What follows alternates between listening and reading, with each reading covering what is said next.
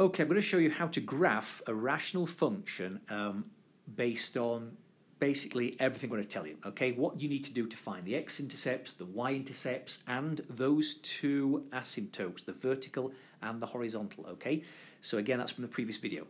So we're going to do it with this one here.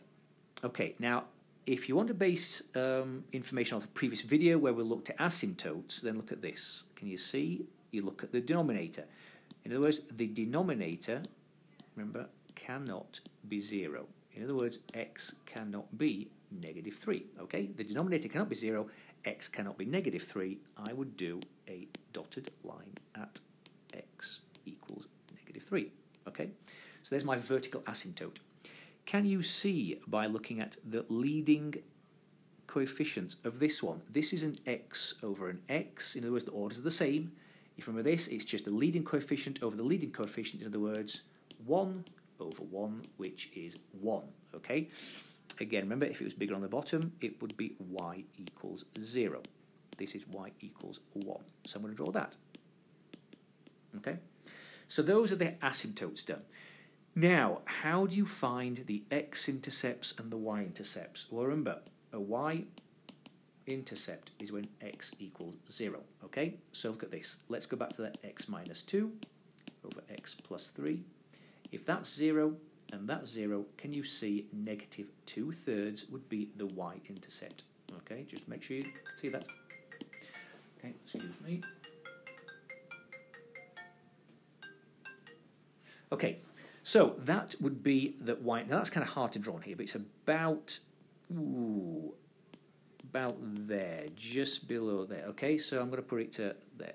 Okay, just below that zero zero point. So zero, negative two thirds, negative two thirds down the y-axis. Okay, now the x-axis is done just by looking at the numerator. Because remember, the whole idea is is how do I make how do I get a zero? A zero is your x-intercept. Well, can you see if I put let's go back to here. Okay, x minus two over x plus three. How do I make this equal to 0? All you need to do is worry about the numerator, because if the numerator is 0, then everything's 0. Can you see x would be 2? Okay? So just look at the numerator to find your x-intercepts, just like you just look at the denominator to find your vertical asymptotes. Right, I have 2. Okay?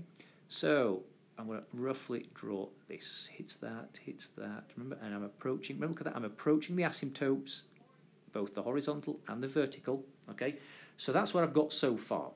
Now, the final thing to do your rational functions is just to plot some more points. Look, I've got everything on the left hand, sorry, the right hand side of that x equals negative 3 line. That's it. I can't draw any more. Uh, if I do, it won't be a function.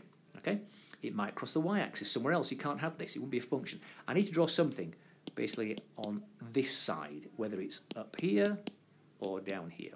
Okay, now the thing about not drawing it below is, is if I do, I'll end up hitting the x-axis again, and there's no more x-intercepts. The only x-intercept was x equals 2, okay?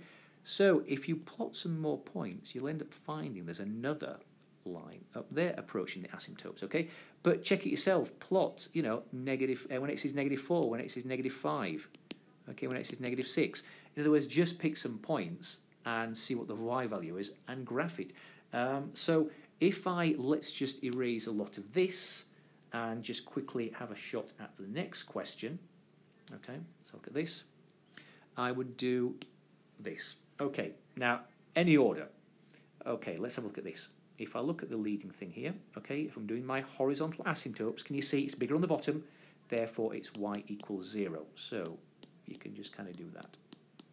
Okay? Now, if you put the numerator, remember, equal to 0, that'll give you your x-intercept. That's x minus 1. So you can either 0 is positive 1. So positive 1 is my x-intercept. Now, if I put all the x's equal to 0, I will get my y-intercept. Can you see if I put all my x's equal to 0? Positive 1 fourth. Positive 1 fourth is the y-intercept. See that? Okay.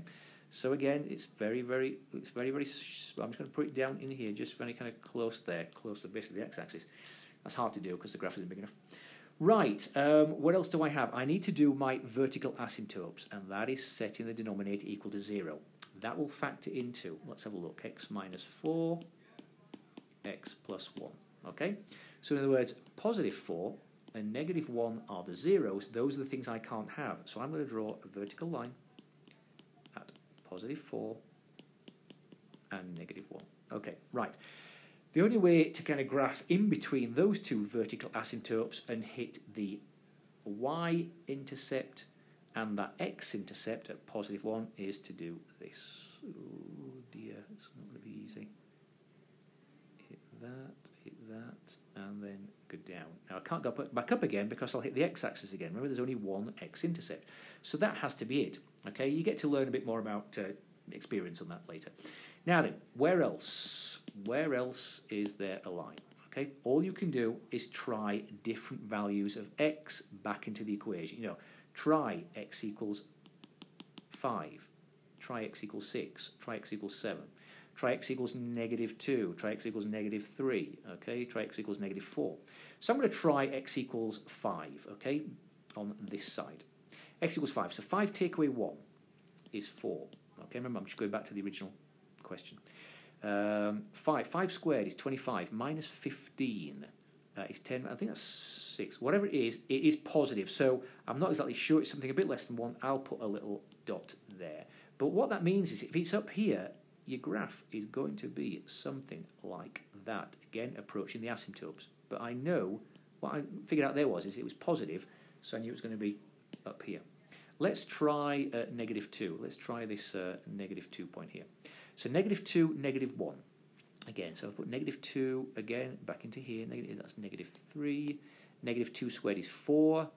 Um, what's that? Plus 6, 10. I think that's I think that's 6. Whatever, negative, I think it's negative. What I'm trying to say is, okay, it's down here somewhere. So in other words, this is probably what it's going to be. And that is everything. So just have a look at that. Stick it in your graphing calculator to check. But remember, let's just uh, do this one time. Okay, one more time.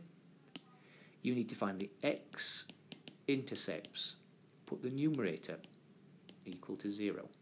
You need to find your y intercepts. Put the x's equal to 0.